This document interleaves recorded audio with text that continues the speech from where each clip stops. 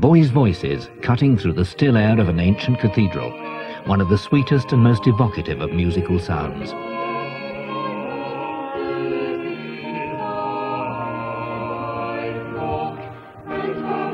The working life of a choir boy is short. It's three to four years at most. But in that little time, these boys become the guardians of a tradition of English church music which has continued unbroken since the Middle Ages. These boys in the choir at Ely Cathedral in Cambridgeshire are in the main just ordinary lads. There's no guarantee that their striking musical ability will continue once their voices have broken.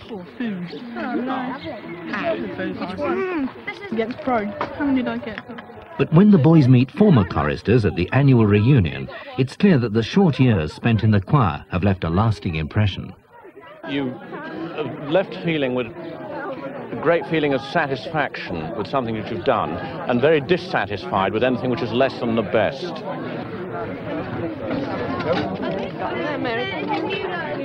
Had a super education in music, naturally, and um, since then I've um, become not only a music teacher, um, but I've continued my singing and enjoyed that in other cathedrals. I've been a tenor in Chichester and Winchester and Durham Cathedral choirs. Do that now at school, do they?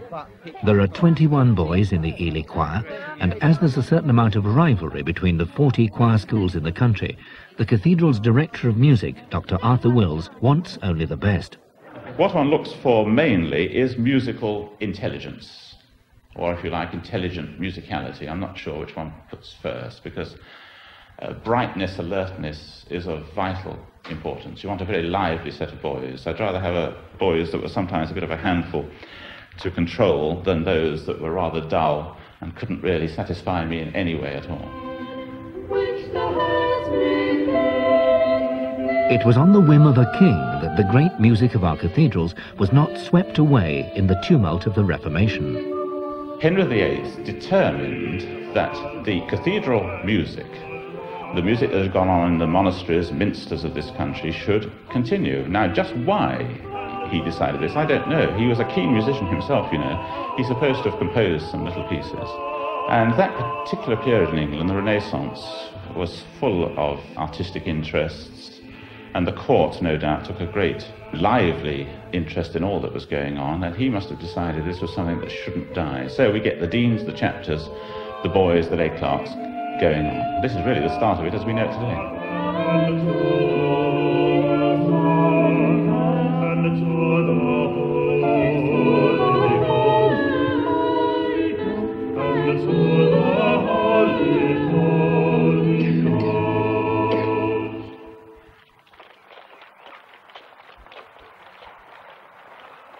The boys are all pupils at the King's School Ely, a coeducational boarding school that is attached to the cathedral.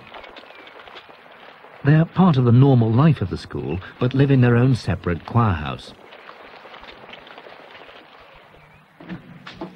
Morning, boys.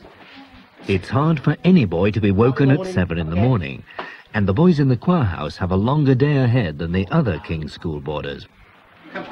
The choir house master, James Tilley, tries to ensure that his charges don't appear too special or precious to the rest of the school.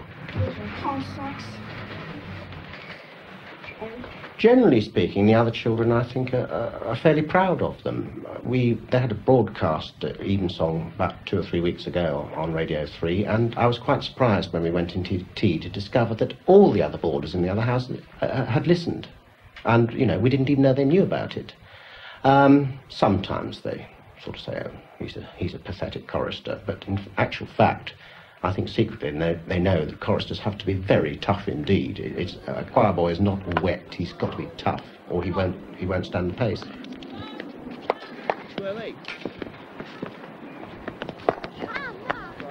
The head chorister, 13-year-old Oliver Thane, is a member of the school first 11 cricket and football teams. The choir try really quite hard not to be different from the other boys. We mix very well, actually. Yeah, we do. I mean, people can't tell we're cross or anything like that, apart from our ties when we get admitted, but yeah, we're, we're fine.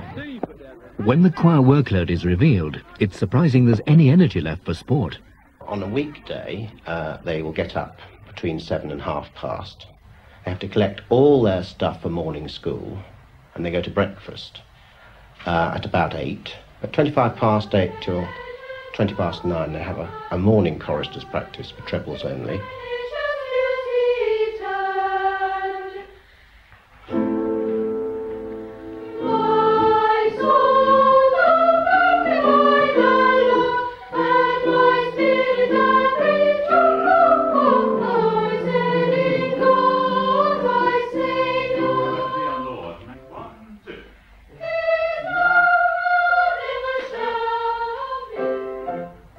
Regime, this workload, it doesn't seem to do them any, any harm at all. They, they enjoy it. I don't think they would do it unless they did enjoy it. They get an enormous amount out of it. They are, in fact, professional singers being treated and trained as such from this very early age.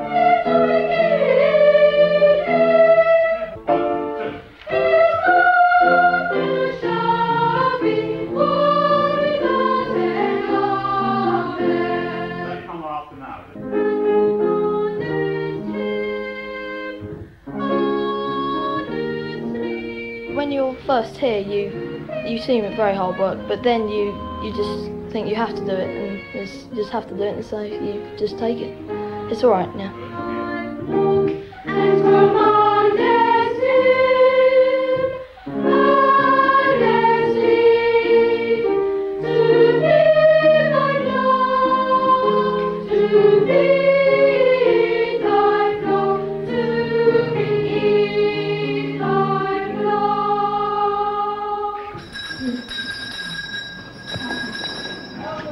Then they have a normal school day, four lessons in the morning, with a break, lunch, and it might be afternoon school or games. Bring a king. And in those days, the king was sacred. He was anointed. And then about an hour off from half past three, they have to be in the cathedral again at quarter to five, ready to sing for practice. And at half past five, they sing evensong every day of the week except Wednesday. If a boy is very satisfactory for us, then normally the school will have no problem with him at all. It hardly ever happens. Intelligence seems to go musically and otherwise as a rule. Of course, you may get a situation where a boy perhaps has been held back. Uh, he has innate musical intelligence, but he hasn't managed to have the kind of academic background given to him in preparation for coming to a place like this, and you might have a problem there, but usually the intelligence is there. King's School at Ely has been co-educational for 15 years, and it's little wonder that the girls sometimes see the choir as a bit of a last bastion of male supremacy. The battle was over. Lots of girls enjoy singing, but it, they don't never get the chance. You know, boys can just walk into the school and take a test and see if they can get in, but girls don't get the chance, and it doesn't seem fair. So you think girls ought to be part of the choir? Well, in a way, yes, because you know, then it gives the girls a chance to enjoy singing. But it's a tradition for boys to be a chorister, and it seems sad to ru- ruin the tradition. Girls in the choir are something that the present all-male members regard as as likely or welcome as the presence of Martians. No, because boys got better voices. Is that a fact or is that what? Yeah, well, if girls came into the choir now, then um, it was spoil the tradition of Ely choir being all boys, being all boys have all along. And if you had girls, uh, it wouldn't wouldn't be such a good sound. they've got a very a, a tone which doesn't which lets the air out. They don't, there's nothing behind their voice. It's just the wrong kind of tone.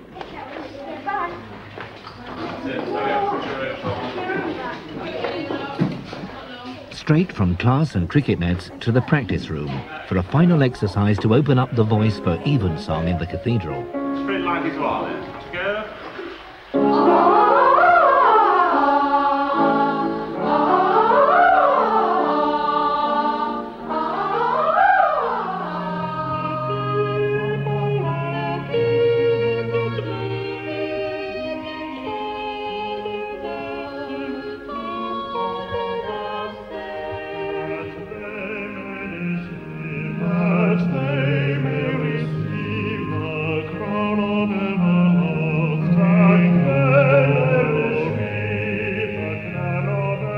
Evensong in the dimness of the medieval choir stalls is at the heart of the daily round of cathedral music. Boys' voices soar to the ancient roof, and there are perhaps no more than half a dozen in the congregation to hear the magic of the sound.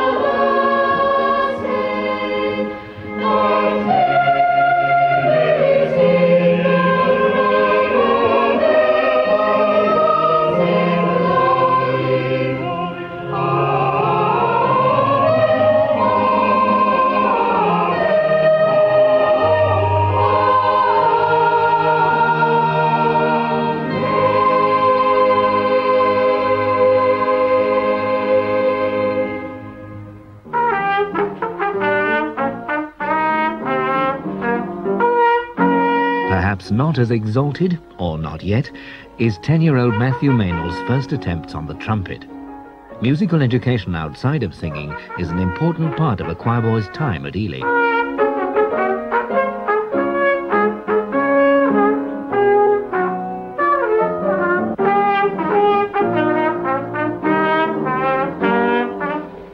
In their restricted free time, a choir of ordinary boys doing ordinary things but it would be strange if all those hours amidst the Gothic shadows of an ancient place of worship didn't make some impression on their minds.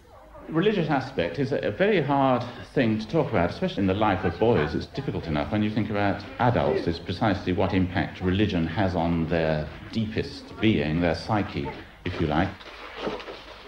What the boys do get to know, of course, is uh, ecclesiastical, liturgical situation in which they're immersed every day. But I'm sure that they, they do imbibe a certain knowledge and a reaction to religious matters, which is of great importance to them. They may not realize it at the time, of course.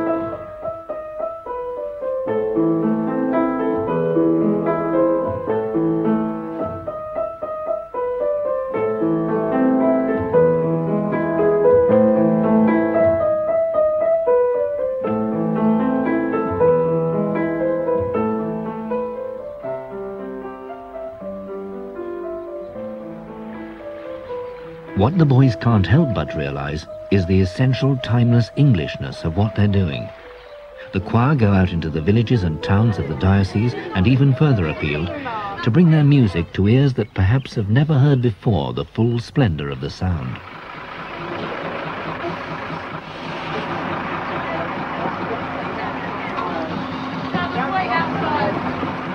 The Dean of Ely, Bill Patterson, is determined to show his choir to the people they go all over the place. Um, they've been very recently down to Epping.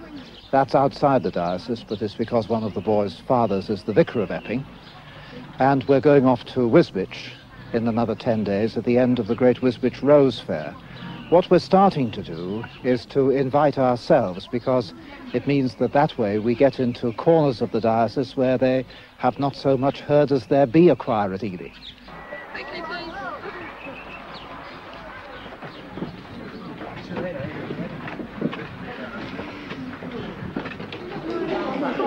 This is the broken one.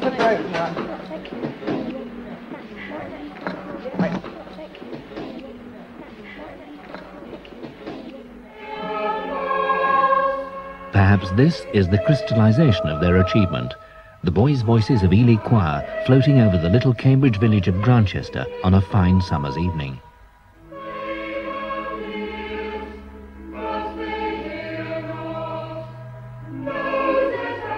Grantchester was the village chosen by the poet Rupert Brooke as the essential flavour of his country when he sat writing these verses in a dark cafe in Berlin just before the First World War.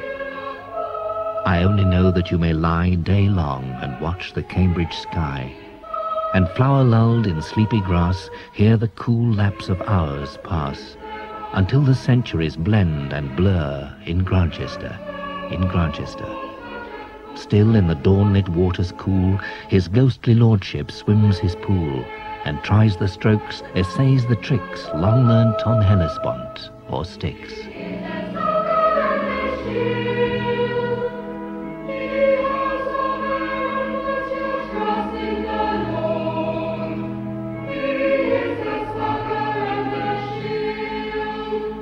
Brooke went on to write about the war and die in it, and although not a local man, he's remembered on the village war memorial as the voice which made Grantchester and its streams, and above all its church, a symbol of all things English.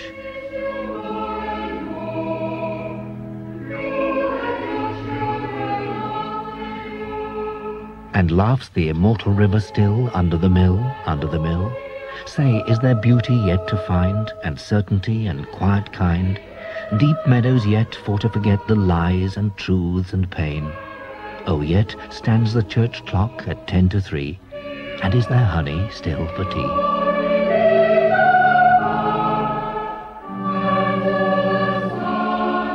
But suddenly, with the breaking of his voice, a boy can be dramatically shut out from all this, one of the most intense parts of his young life. It happened pretty quickly, yeah. Um, I first noticed quite a few weeks back when um, I couldn't sing and I went to SAN. They said it was just hay fever, but it's getting worse. So. Are you very disappointed about that? The sort of end of your time in the choir? Well, to a certain extent, yeah. Because I miss, I'll miss the music, and I'll miss, you know, sort of being with everything, and I won't be used to having so much free time. No, we don't kick them out. They're under contract until the end of the academic year in which their voice breaks. Does it affect them at all? Have you noticed any side effects when this sort of dramatic moment comes? Yeah, they can be a bit bolshy. Um, they're no longer, well, uh, at the centre of things, as, as the choristers are when they're singing. Um, generally, I mean, I tend to say to them, well, you'd be much more upset if your voice didn't break, really, wouldn't you? I think they would. right, now the first thing you've got to do is to sing some notes as I play them. You just listen to them carefully and sing them to R. Here's the first one. Now then, can you sing this for me? Just do R. There we go. That's good. Now we're going to do a whole set of those. Now, have you got something you want The finite time a boy's voice is suitable means that the director of music, Dr. Wills, is faced with a ah, continuous process of finding new talent. Let's just do the first verse, shall we? I'll pick it then.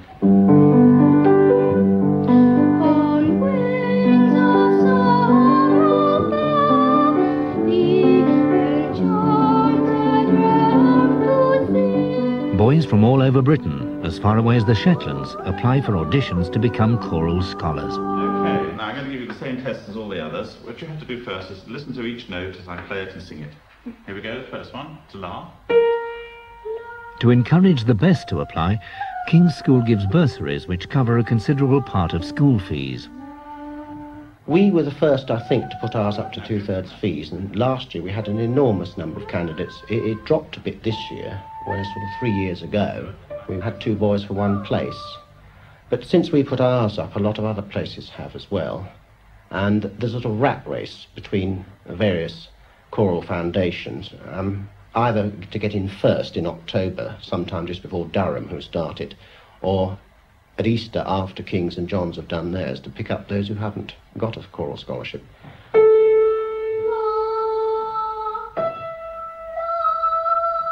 But there is quite a lot of competition. Uh, there are boys we've turned down who are in choirs I'd better not name.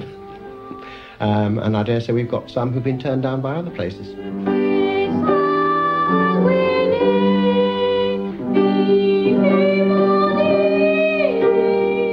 It would be useless to have a choir boy with a fine voice who didn't have the academic ability to fit into the school. And this is the responsibility of the master of the junior school at Ely, Mr. Roger Firkins. I'm looking to see that we can teach them. They have to fit into the, the kind of child we have in the school, but that is within a very wide academic range.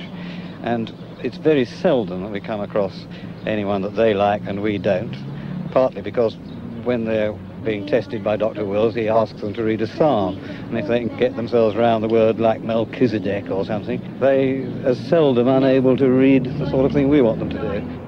They they devour me and tear me in pieces. Do you know what devour means? Eat. Eat. It does, doesn't it? Yes. Then look to Roger on the school side, and then over to Arthur as is our new, usual practice, and, and go through the list.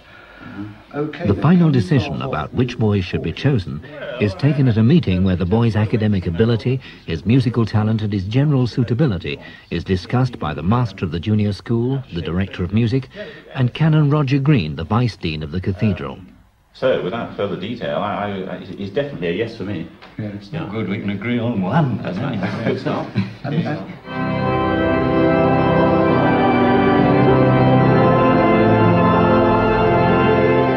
For the new boys, an opportunity to take their place with the rest of the choir at Easter in one of the most solemn and glorious of musical events. The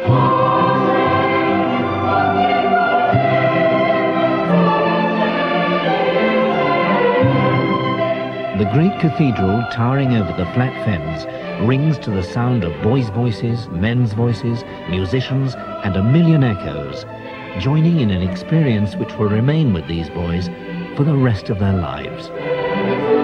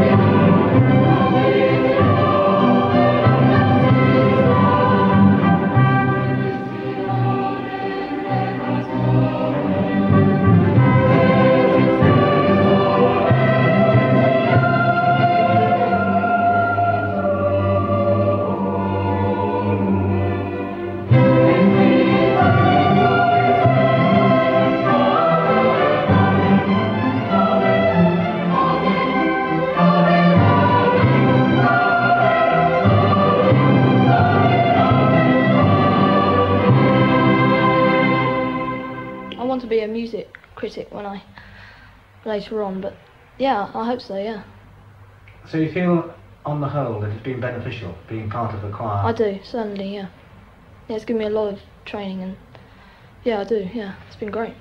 What will you do now? Just keep like the non-choristers and stay at the house and No, I'm going to go up to the senior school. I'm going to leave music. Apart, I'm going to carry on percussion and piano maybe, but apart from that, I'm going to leave it alone.